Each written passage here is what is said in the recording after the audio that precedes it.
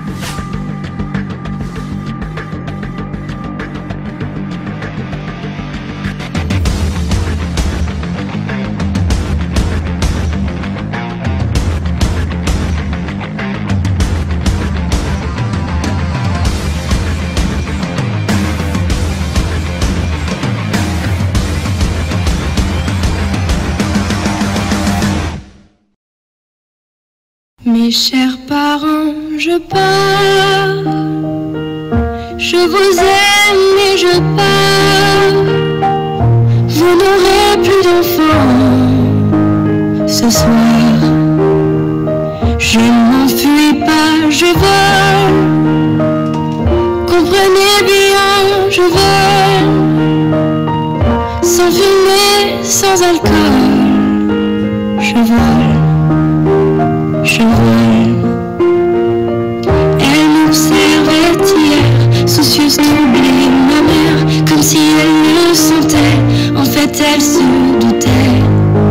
entendait.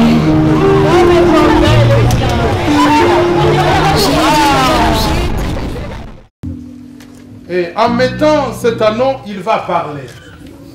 Parce que Azababate, il va parler dire de très belles paroles envers sa femme, les paroles d'amour et d'affection.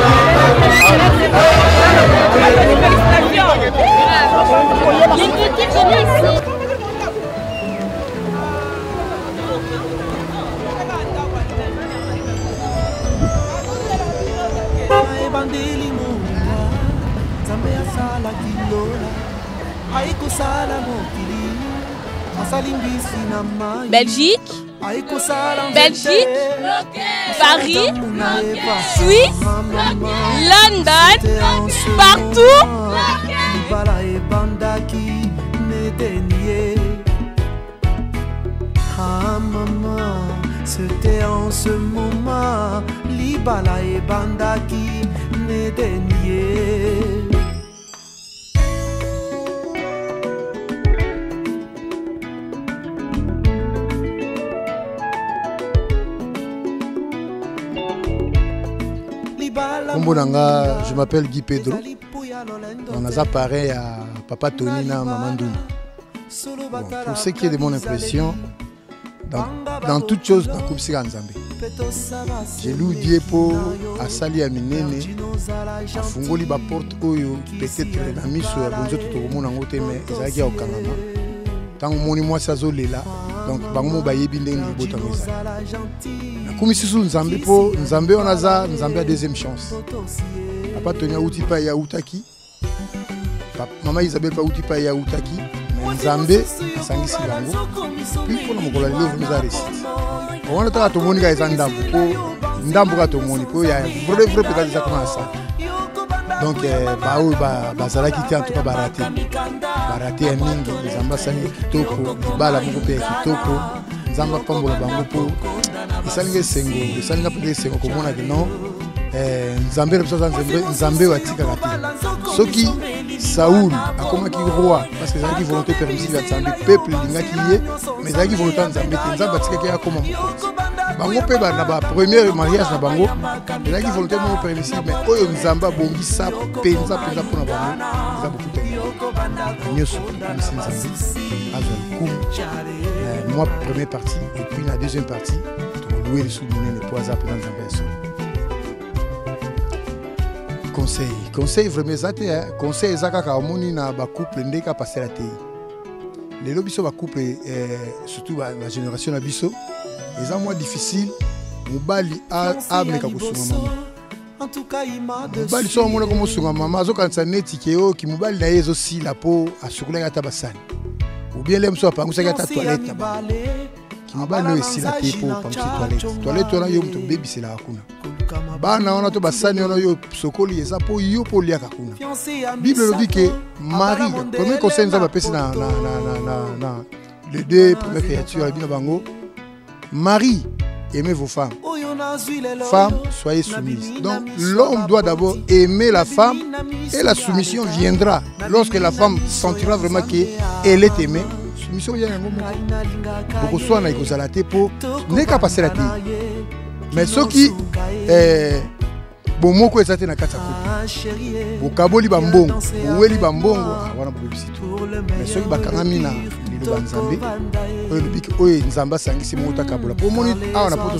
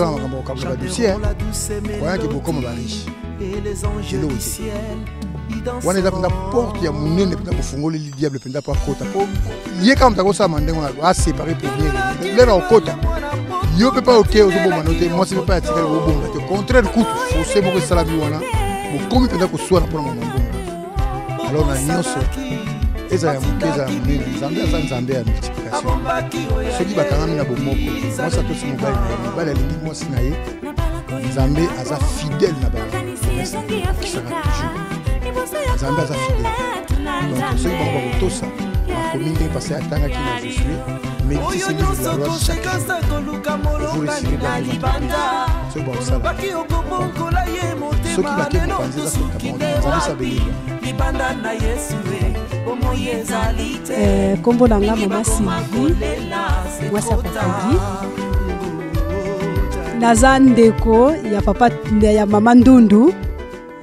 alors euh, azwi biso mpe comme baparin marraine yango topamboli nzambe vraiment makasi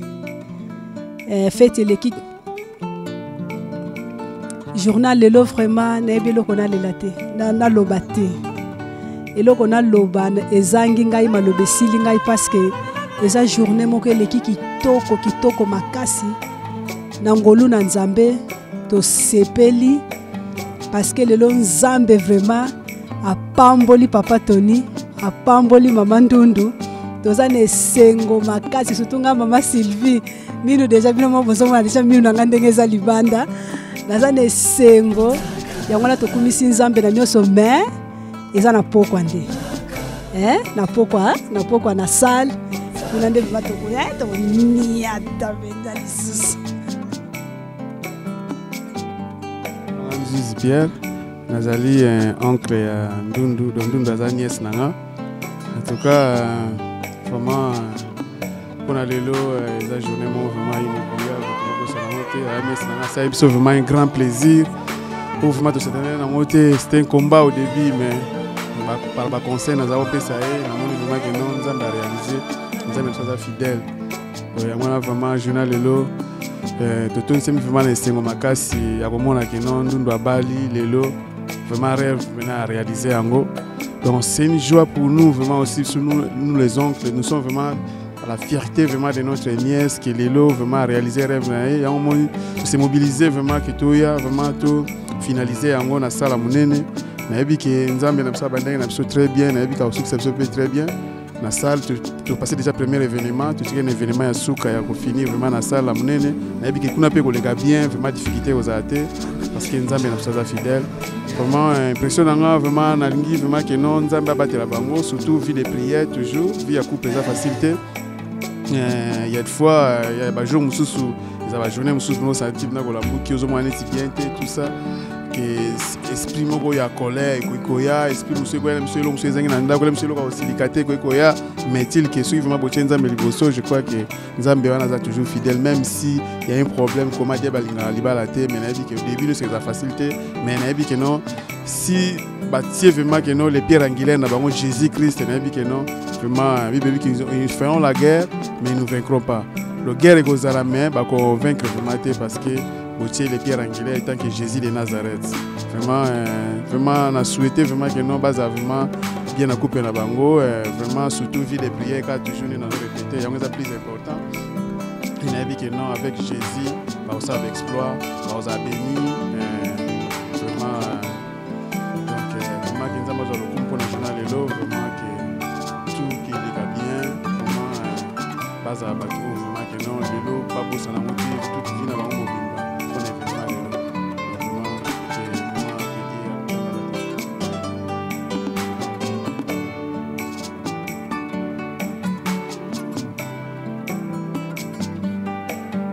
ah, lelo naa na banzembo nanga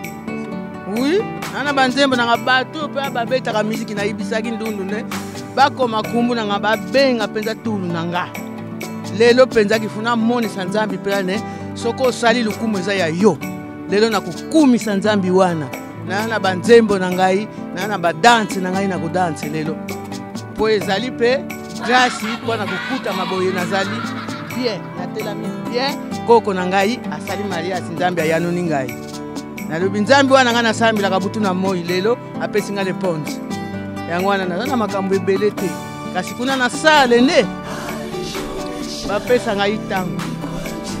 ntango wana mpenza bakopesa ngai na kobelela sikoyo bakoko na ngai bana na ngai kokomona bango na kati ya danse nde mama grasa nakumbisi nzambe nzambe azwa lokumu apambola baoyo batikali baoyo mpe batikali balanda mpe lisusu nzambe ndenge apamboli nayebi ne likambo ya nzambe ezongaka nsima te likambo ya nzambe mpe ekosaka te ezalaka te ke soko asali moto alongola ngo yango wana lelo ekokisami oyo mpe batikali naza na kondima nde mpe ekoleka kaka bongo yango wana lelo nzambe nakumisi ye kuna na sala esika tokosala mosala